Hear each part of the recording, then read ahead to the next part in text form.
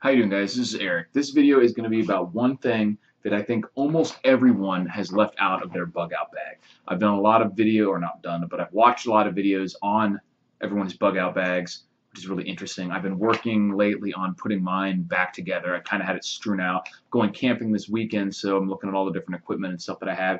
And when I come back, I'm going to, after having tested a few other pieces of equipment, put it all back together and show you guys how I do it. And one of the things that, like I said, I've never seen anyone else have in their bug out bag is this. This is a military waterproof clothing bag. It's a kind of plasticized canvas with a rubber coating, completely waterproof, and it has a drawstring here, fairly big as you can see.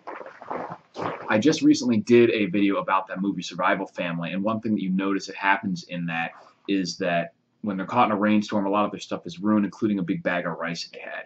You can have a lot of stuff that would be not good to get wet. Even if it's not ruined, things like clothing, your bag gets heavier. Just it's just not a good deal to have all your stuff get soaked, and some things would be particularly damaged by getting wet, especially repeatedly. So this thing is not very heavy.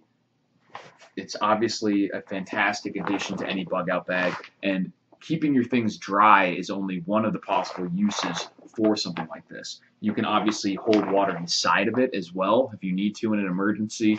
It would taste kind of weird because of this black rubber probably, but in an emergency you could hold 10 gallons or something or more in here at least, I'm guessing. And uh, you can do clothes in here. You can, I mean, wash clothes in here. You can put your detergent in there, put the, the clothes in there, wash it up, I, imagine that's what it's originally designed for. And also, in an emergency, since it's airtight, you can um, fill it with air, tie it up, and it will uh, float. Use it as a flotation device. And also, if you have it already in your bag, rolled up, tied up, or some other how or some other way pinched closed, if your bag falls in the water, it will help it float and not sink because not all, everything won't just get wet and sink to the bottom. If you have something like this in there, it might actually float. So there's a whole bunch of different things. You could even potentially um, different sort of water collection. You know, like when you put it over leaves and let it evaporate in there, all sorts of random stuff you could do with a uh, with a waterproof bag like this.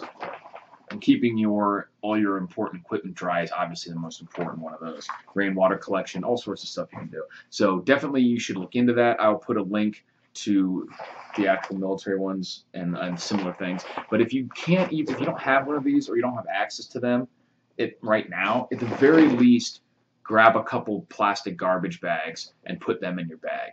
Put one inside it, you know, like you would in a trash can, and put all your stuff in there, so you can just twist it shut at the top and serve the same purpose. It won't be nearly as robust, but it will at least keep your stuff dry from you know, getting rained on and things like that. Won't necessarily keep it dry if it gets completely submerged, unless you really tie it tight, but it will keep it dry if there's rain or anything like that.